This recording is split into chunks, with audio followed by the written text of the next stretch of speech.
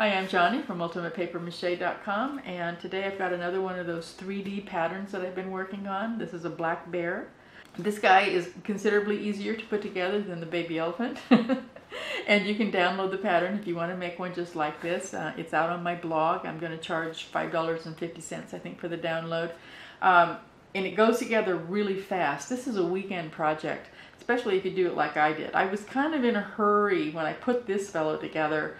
Um, just because I just sold my house and I bought another one and I was trying to get things done uh, a few days ago especially on the painting part uh, because I had a um, an inspector showing up uh, soon and I just wanted to get everything done as quickly as I could. So I kind of rushed through the painting but I think it actually turned out okay anyway certainly not my usual style but I actually like it this is a faux taxidermy mount and it's really obvious. It, I made no attempt at realism here, and oddly enough, I, I think it turned out really good. so uh, sometimes uh, changing your style actually can be kind of fun.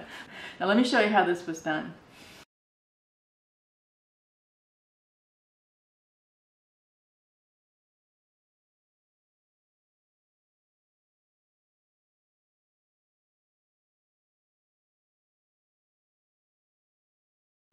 The first thing you do, of course, is you uh, print the pattern out on some cardstock. I bought my cardstock at Walmart.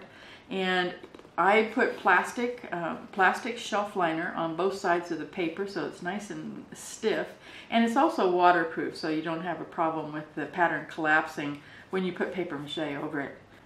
Then after you have the, the plastic on both sides, you cut the pieces out and you tape them together. The nose uh, is the only thing that's even a little bit challenging on this guy. Uh, there's, um, it, it, kind of feels like origami a little bit. I'm going to color code those, uh, those edges on the nose just so that you know which direction the bends go. Other than that, the, the pattern goes together really fast. You do need to put something on the inside of it before you put the back on because the cardstock that you printed on just is not strong enough to um, to hold up when you're pressing the paper mache over it. So you do need something on the inside to support it. I used aluminum foil this time in the muzzle and then I just poured in some uh, foam pellets that I happen to have lying around from some package that I got a few months ago.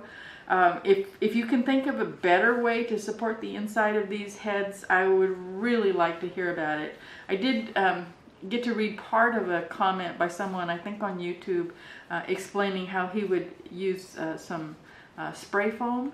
And YouTube hid the comment from me, so I didn't get to read all of it. Uh, so if that was you, please try again. Now, once it's all done and all the pieces together, you're going to put a, uh, you cut out a piece of heavy cardboard so the back stays nice and flat.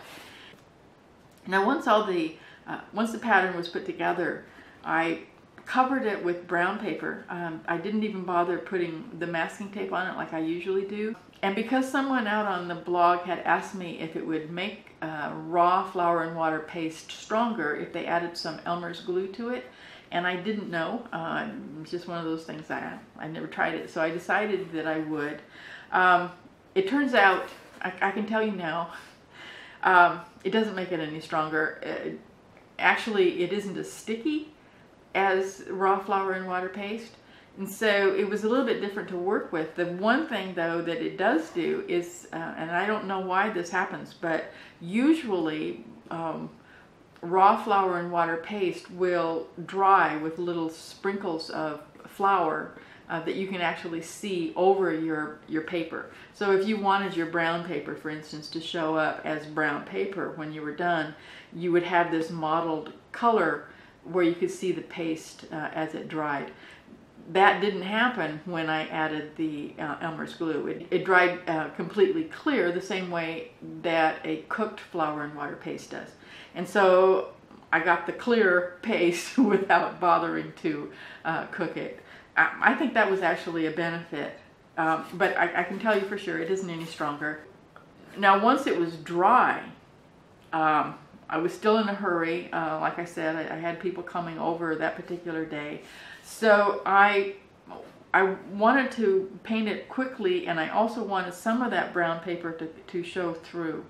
And the reason for that is that I actually made two of these guys. And the first one, I painted a flat black on the on the outside, um, you know, on the on the major parts of his head, and it was horrible. I really, really hated it, and so I chucked it out. Um, one nice thing about these patterns, if you really wreck something uh, when you're painting it, uh, you really can start over and you still got the same bear, which is which is kind of nice. So this time, I used some of this uh, uh, acrylic medium. It just happens to be a cheap brand of acrylic acrylic medium, and I mixed in with it some black acrylic craft paint and a little bit of brown. I think nutmeg brown is what they call it.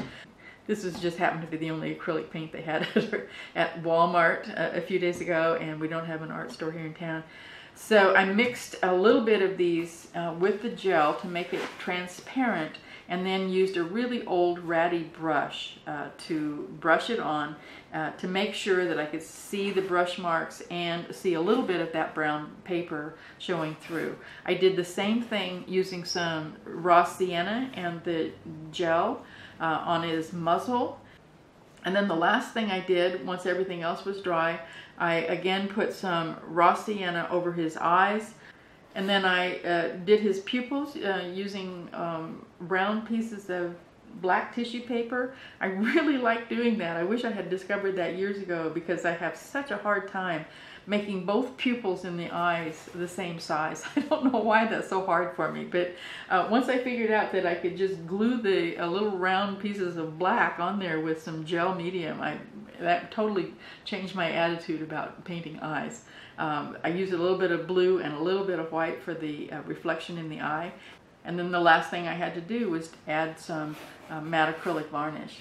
So that was uh, a real fast method of making this guy like I said, if you want to make a bear like this, you can download the pattern. I've got the, the, the um, link down below. And as soon as I move, I have decided, I think it was yesterday morning, it just came to me, that as soon as I get uh, settled into my new house, I'm actually going to start writing a book. I've been wanting to make a book for a long time on, on paper mache faces, uh, people faces, not, not not critter faces, but actual people. If you have any ideas that uh, you would like to share with me as how you think uh, or, or, or, what you think that I should put in that book, uh, I would love to hear it. Your comments and suggestions have always been just so helpful. I would really appreciate that. So that's it for today. If you do make a bear, I sure hope that you will come up to the website and show him off. I would love to see how it turns out. I'll see you there, ultimatepapermache.com.